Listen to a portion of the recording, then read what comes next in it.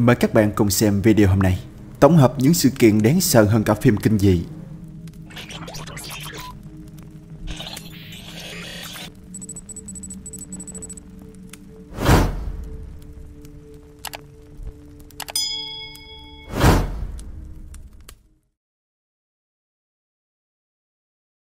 Vị trí đầu tiên, Ba đoạn clip ma quái xảy ra ngoài đời thực. Một người dùng YouTube có tên là Mega Squirrel 64 Gamer. Người này có hai kênh YouTube Một kênh chuyên về game và một kênh chuyên về vlog. Nhưng kênh này không được anh upload thường xuyên cho lắm. Điều đáng chú ý là ở kênh vlog của anh ấy Có chia sẻ một đoạn clip rất đáng sợ. Anh nói rằng bố của anh có đặt một kiện hàng online. Khi nhận hàng ông muốn kiểm tra hàng trước khi nhận. Và điểm chú ý là trên cánh cửa nhà anh có lắp đặt một camera an ninh. Và nó luôn trong tình trạng hoạt động 24 trên 24. Với góc quay này, nó có thể ghi lại toàn bộ các hoạt động đang diễn ra trong phòng khách khi mở. Và khi đóng cửa lại, thì nó sẽ ghi lại các hoạt động bên ngoài. Và đây là đoạn phim được nó ghi lại khi mở cửa.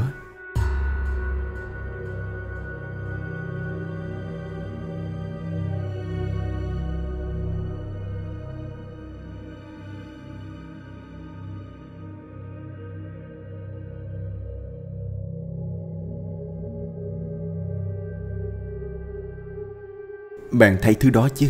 Người dùng Megasqui nói rằng khoảng thời gian đó chỉ có bố mẹ anh ta ở trong căn phòng khách mà thôi. Vậy là ai hay cái gì đang ngồi cạnh mẹ anh trên ghế sofa kia? Megasqui thật sự không biết đó là gì. Cho đến tận ngày nay, đoạn clip kỳ lạ này vẫn là một bí ẩn, chưa có lời giải.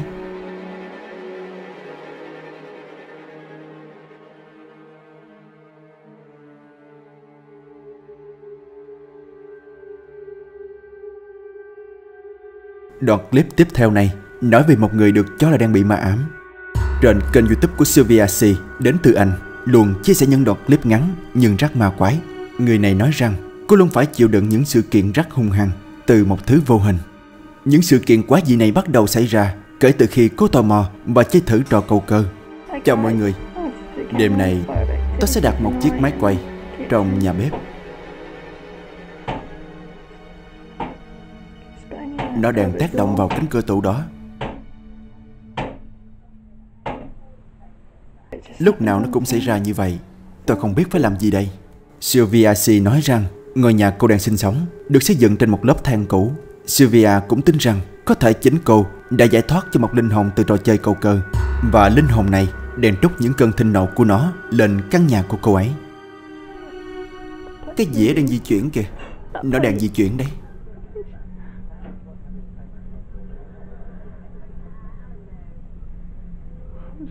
Tôi rất sợ khi phải vào nhà bếp. Bởi biết đâu nó làm hại đến tôi thì sao?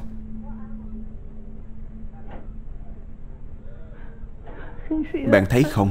Cái dĩa đang di chuyển đấy. Lại chúa tôi.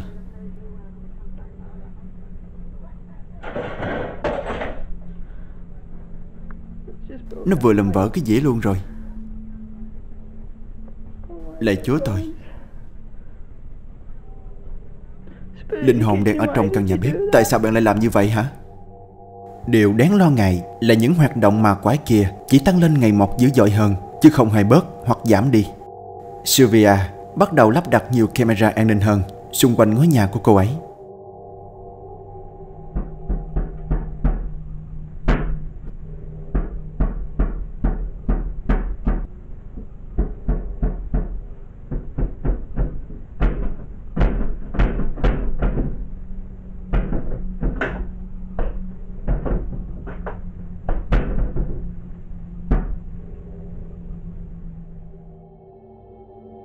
Cánh cửa tủ tự động mở ra và đóng lại với một lực rất mạnh. Vào một đêm khác, các hoạt động kỳ lạ tiếp tục diễn ra. Sylvia dường như cũng đoán được những điều quái gì lại diễn ra nên cô đã cầm điện thoại lên và đi ra ngoài kiểm tra. Được rồi các bạn, lại là căn nhà bếp. Tôi lại nghe thấy một điều gì đó đang xảy ra trong nhà bếp Những con dao cây kéo, tụi nó đang di chuyển Tôi đã thấy rõ ràng là nó đang di chuyển Tôi nghĩ là tôi đã thấy nó đang động đậy. Lạy chúa tôi, Lại thêm cái này di chuyển nữa. Căn bếp này đang có một linh hồn trú ngụ. Tại sao bạn lại di chuyển những thứ này chứ? Tôi phải đi ra khỏi chỗ này thôi. Làm ơn đừng di chuyển bất cứ thứ gì nữa được không? Nhắc là dao kéo đấy. Làm ơn đừng có ném con dao nào nhé. Linh hồn đó đang ở đây, Trong căn bếp này. Nó vừa đóng cánh cửa. Máy giặt lại đó. Linh hồn đó đang ở đây, Trong căn bếp này. Cái gì? Ôi không, Các bạn ơi, Nó vừa di chuyển cái ghế đấy. Trời ơi, Tôi không còn cầm nó được nữa. Chúa ơi Chúa ơi, Con sợ quá. Sylvia đã rất sợ hãi, Nhưng sự kiện này càng làm cho cô kinh hoàng hơn. Dao kéo lại di chuyển nữa đấy.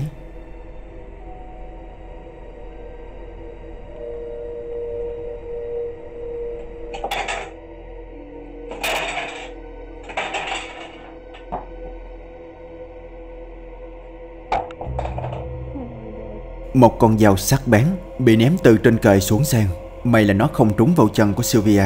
Sau sự kiện con dao bị ném xuống sàn đó, Sylvia đã thật sự lo lắng cho sự an toàn của mình.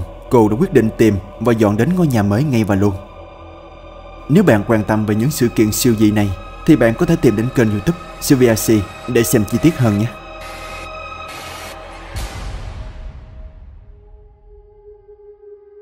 Đoạn clip cuối cùng này là do một người dùng YouTube có tên là Carolia Torres đã gửi cho Newstop 5. Tuy nhiên, theo lệ của Newstop 5 thì địa điểm của cánh quay này vẫn là một bí ẩn.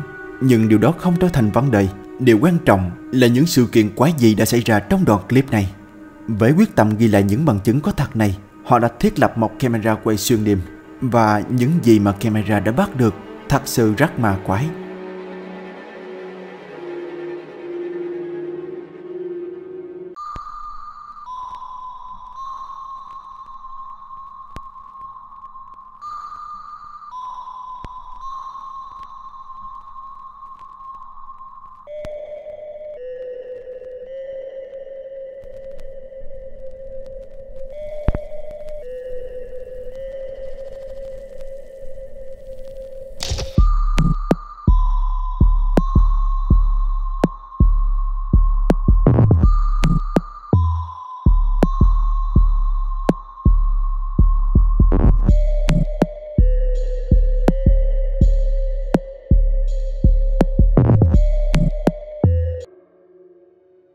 Không biết là do hiệu ứng hay do camera, Mà khung cảnh khi đó thật sự rất âm u và lạnh lẽo. Đó là mình chưa kể đến các món đồ trong căn phòng Đang bị một cái hay một thứ gì đó di chuyển.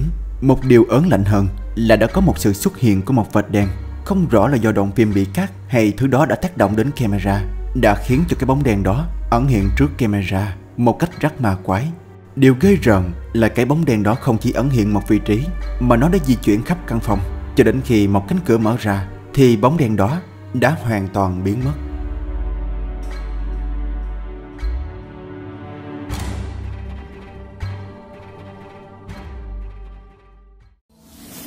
Vị trí thứ hai, tác động. Hãy tưởng tượng bạn đang thư giãn trong căn phòng của mình sau một ngày làm việc mệt mỏi. Nhưng sau khi bạn đặt lưng vào chiếc giường thân yêu của mình, thì đột ngột xuất hiện một hiện tượng ma quái. Ngay bên trong chính căn phòng thân yêu của bạn, thì bạn sẽ như thế nào? Nếu bạn chưa thể tưởng tượng ra khung cảnh u ám đó, thì đoạn clip được chia sẻ bởi một người dùng YouTube có tên là Feeder sẽ là một ví dụ. Cùng xem nhé.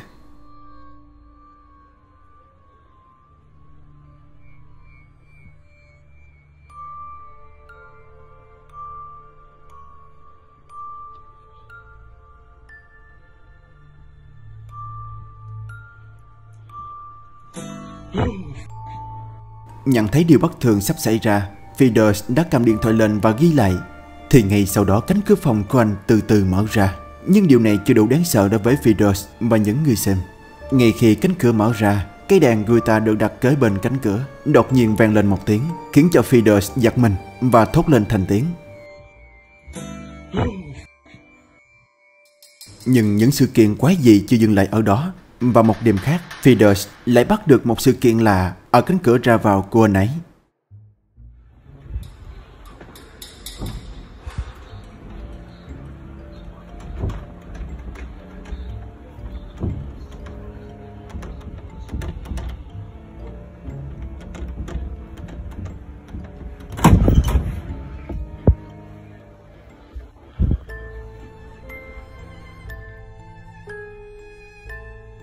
Khi đó cái tay nắm cửa đã rung lên nhẹ nhẹ Giống như có ai đó đang đứng phía bên kia cánh cửa Đang tác động lên nó vậy. Nhưng ngay sau đó Feeders đã nhanh chóng mở cánh cửa ra Thì kỳ lạ thay Không thấy ai hay bất cứ thứ gì ở đó cả.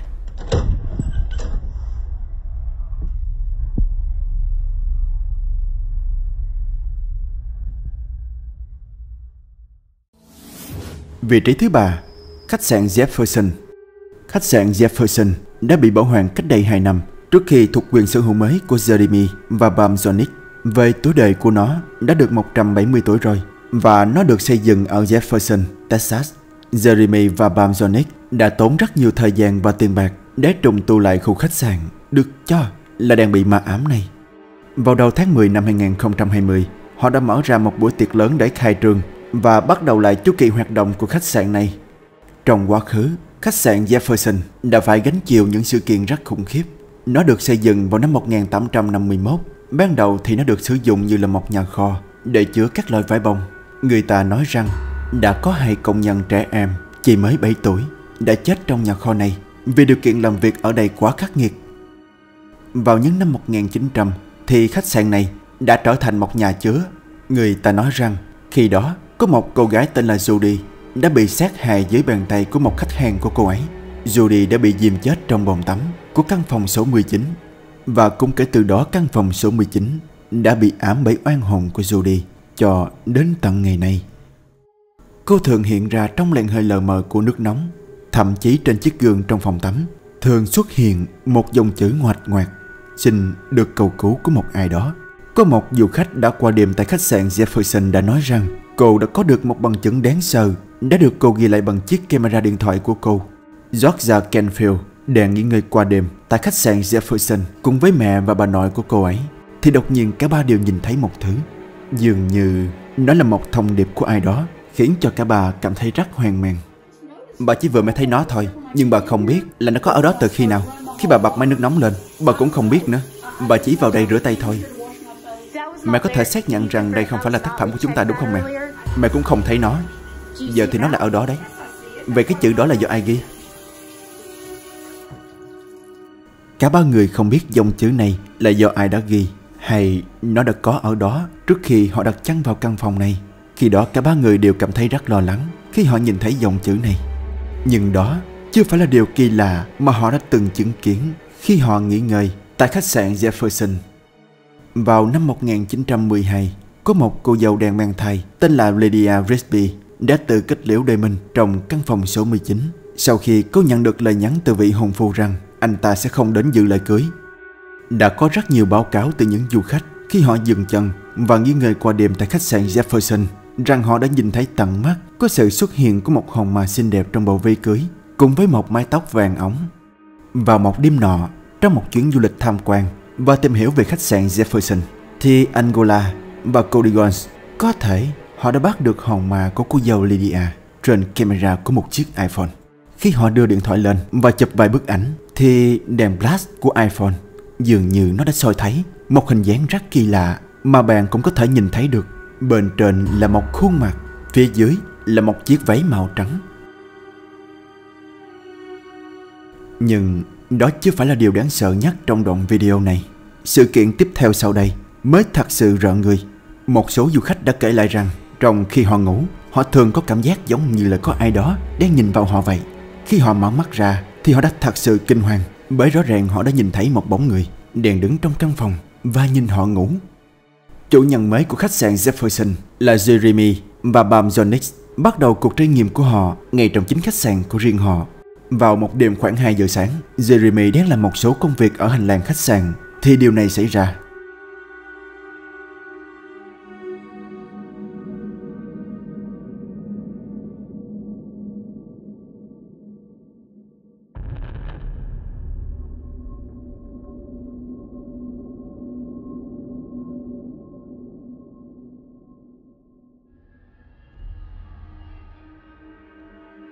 Không có âm thanh trên video này. Nhưng Jeremy đã nói rằng, Anh ta đã nghe thấy một giọng nói, Ngay khi cửa của một căn phòng bị mở chốt, Và cánh cửa đã đung đưa một cách bí ẩn. Nhưng đây chưa phải là điều đáng sợ nhất của đêm hôm đó. Và một đêm khác, Khoảng 4 giờ sáng, Vợ chồng của Jeremy đang ngủ say trên giường. Thì một trong những chiếc camera cảm biến của họ đã bắt được một thứ gì đó hay một ai đó đang di chuyển ở cuối hành lang. Điều đáng lo ngại là vào thời điểm đó, khách sạn hoàn toàn trống rỗng nên Jeremy sợ rằng có thể là một kẻ nào đó đã đột nhập vào khách sạn nên anh đã chạy ra và nhìn xuống bên dưới, nhưng không thấy ai cả.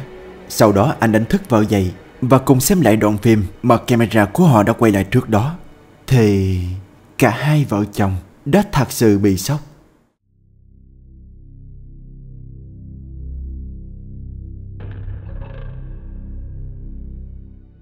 Căn phòng số 19 được cho là nơi bị ám nặng nhất của khách sạn và một điều trùng hợp là có hai vợ chồng Jeremy đã tận mắt nhìn thấy một cái gì đó hay một ai đó đang đi vào bên trong căn phòng số 19.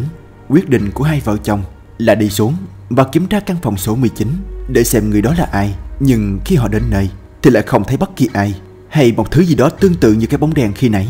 Dường như thứ đó đã biến mất, không để lại bất kỳ một dấu vết nào. Từ dòng chữ lạ viết trên gương và hình dáng của một cô dâu được nhìn thấy sau ánh đèn flash của iPhone cho đến những sự kiện kỳ lạ mà hai vợ chồng của chủ khách sạn đã trải qua thì những sự kiện này đã đủ thuyết phục được bạn chưa nào? Nếu bạn tò mò về những hiện tượng huyền bí này thì bạn có thể tìm đến kênh YouTube hoặc Facebook The Historic Jefferson Hotel để xem nhé. Vị trí thứ tư, bóng ma người lính. Đoạn clip rùng rợn này được chia sẻ bởi một người dùng Reddit có tên là DeadZone43 trong thời gian anh phục vụ tại căn cứ quân sự ở Ba Lan. Thỉnh thoảng thì anh có ca gác vào lúc nửa đêm thông qua các camera an ninh trong khu vực và một trong những chiếc camera thuộc quyền quản lý của anh đã bắt được một thứ gì đó rất kỳ lạ.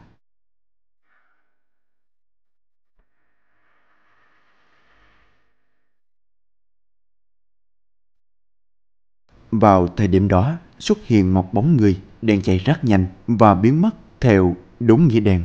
Thoạt nhìn thì bóng người đó không khác gì mấy so với một người lính. Nhưng tại sao người lính đó lại biến mất một cách bí ẩn như vậy? Chắc chắn đây không phải là một trò đùa của một người lính nào đó trong khu vực buôn sự này.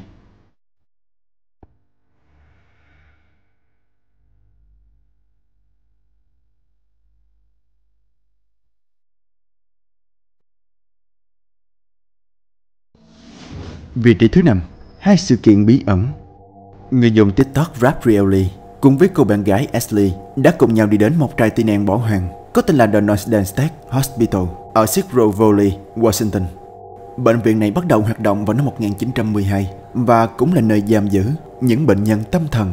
Sau 61 năm hoạt động thì bệnh viện này đã bị đóng cửa vào năm 1973.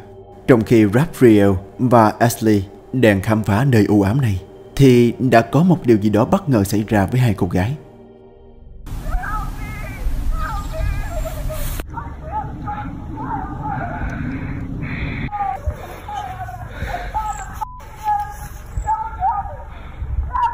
Ashley.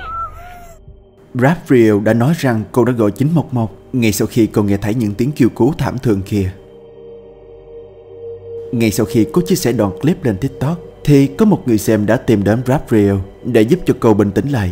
Người này giải thích rằng, thật ra có một cơ sở tâm thần khác ở gần đó, và cơ sở này vẫn còn hoạt động cho đến tận ngày này, và rất có thể tiếng kêu thảm thiết kia xuất phát từ cơ sở này. Khi nhìn từ Google Maps thì thật sự có một trung tâm điều trị tâm thần trong khu vực đó. Tuy nhiên nó không đủ gần để bạn có thể nghe thấy tiếng của một ai đó đang la hét. Ashley. Nơi mà Ashley và Raphael đang đứng cách khá xa cơ sở kia bởi một khoảng đất trống rất rộng. Thậm chí ở gần khu vực của bệnh viện còn có rất nhiều cây cối um tùm, một xung quanh một con lạch và có cả những tòa nhà thương mại cũng ở gần đó. Vậy câu hỏi đặt ra liệu rằng có một người phụ nữ nào đó có một chất giọng vượt âm thanh xuyên qua những trở ngại đó không? Và điều quan trọng là tiếng nói đó không hề bị lấn át bởi gió hay bất kỳ một yếu tố nào khác bởi những tiếng la hét đó nghe rất rõ.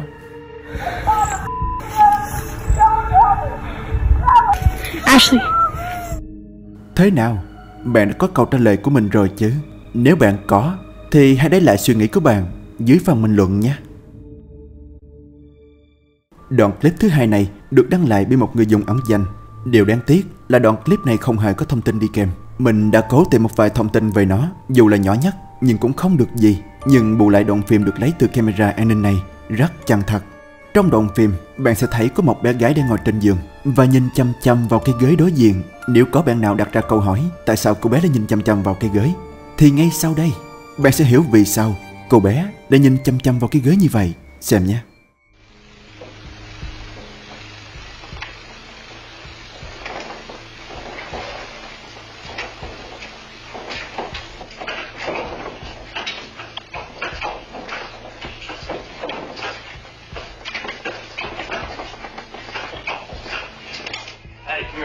Đây đây, con yêu. Không sao rồi, Ổn rồi. Đừng sợ, con yêu. Rõ ràng là cô bé đang rất sợ hãi, Và chắc chắn là cô bé nhận biết được điều gì đang xảy ra.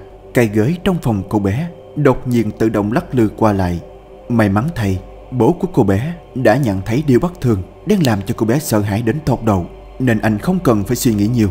Anh đã vội vàng bế con ra khỏi căn phòng và đồng thời không quên trấn an cô bé.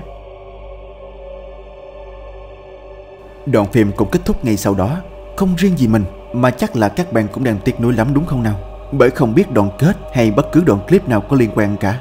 Nếu như ai tình cờ biết được hay có thêm thông tin về đoạn clip này thì hãy chia sẻ nó dưới phần bình luận nhé.